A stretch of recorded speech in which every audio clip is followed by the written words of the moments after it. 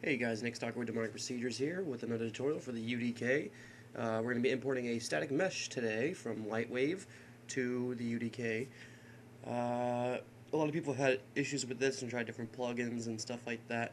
Um, I finally got it to work myself using just basic Lightwave exporter and stuff like that, no plugins, no nothing, and it got the UVs transferred over really nicely. So I did this uh, really corny cereal box I found online just did a box and UV'd it and everything like that to get this uh, laid out.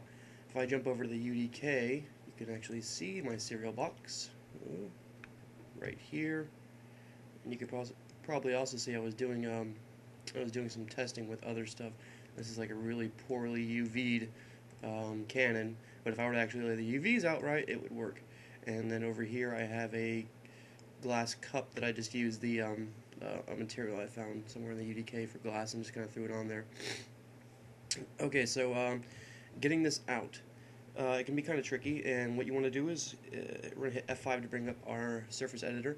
And you can see here, let me uh, close out some objects I have open. I have some other open stuff. Let me close this out so it doesn't get too confusing. Don't save. Go to this one. File, close object. Okay, so you can see here in my surface editor I have uh, my cereal box and I only have one material which is kind of important.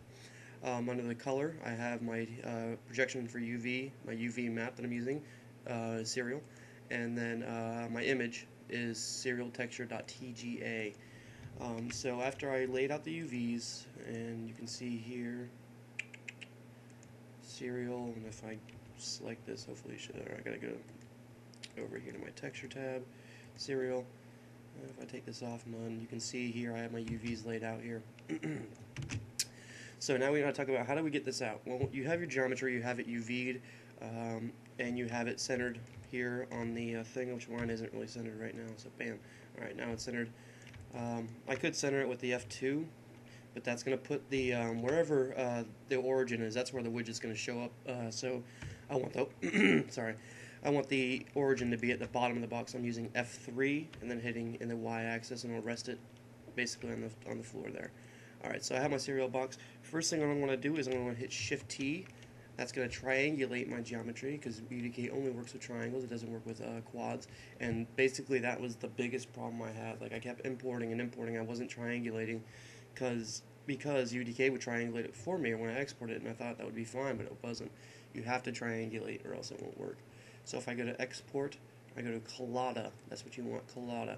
Um, I'll name it serial box uh, tut for tutorial, and you have to add dot de or de uh, dae at the end of that, or else it's not going to import right. You have to add that to the end.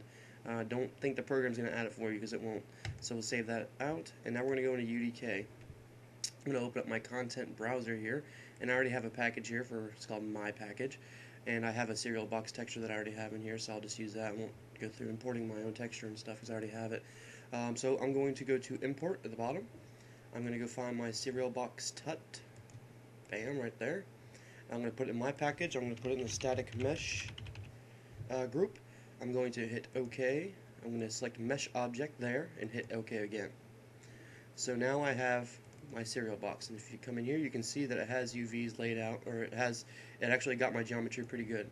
Um, so all I need to do now is under the uh, LOD info, uh, you're going to go bring all this stuff down, and under material, I'm going to go into uh, my content browser, select my material, which will be under material, select my serial box, and I'll just push that over, push that over. I don't know why I have two materials there. I only had one in uh, Lightwave. Eh, it doesn't really matter. Anyways, um, there's my box textured inside of um, UDK, and it went straight from Lightwave uh, with no problems. It's, so you can see here it's 12 triangles, 35 verts. Add some 6 DOP collision because it's just a box. Uh, if I view my collision, you can see that that is... Oh shit! Oh, come on! I'm going too fast, too fast. If I view my collision, and I, th uh, I think I may have forgot to scale this before I brought it in, but we'll find out. Anyways, now I should see it in here, right here. Yeah, I didn't scale it, so it's going to come in super tiny, but I can blow it up once I get it in here. So it's there, it's just ridiculously tiny because I didn't scale it up right, but you can see now the, um, oops, let's uh, scale this up to uh, 25. Yeah, big old cereal box. But you can see now that my, um, Actually, I think my, uh, no, it's not. It's right. It's on. Yeah. So you can see now that the widget is in the middle, and it's at the very bottom of the box, and I have my cereal box in here. Um, obviously, next time I'm going to pay attention to what I'm doing and make sure I'm not doing a 50 centimeter box. Usually, I don't know, like UDK blows the crap out of stuff, and I haven't really been. And since um, Lightwave uses real units, like as in feet and inches and stuff like that, I haven't really found any kind of uh, scale stuff. But you uh, can might be able to find something online for it.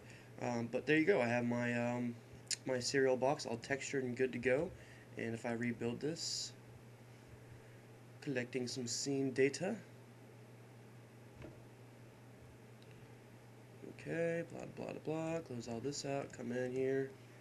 I may have put it like right on top of where I'm spawning here. Oh, I forgot to save my package. That's why it's not showing up. Save the package. Right now I'm right clicking and choosing save package. I just realized that when I right click on stuff and it brings up those side menus, you guys can't see that on the tutorial. So that's fun. And there we go. Big old box of cereal. Flip over cutouts. What fun. I have my cup here, which I made a dynamic object, which is funny because then I can touch it and it goes flying across the room. Alright guys, uh, that's all I have to show you for now. Have fun. My name is Nick Stocker. I'm with Demonic Procedures. Thanks for watching. Just remember, the demon's inside.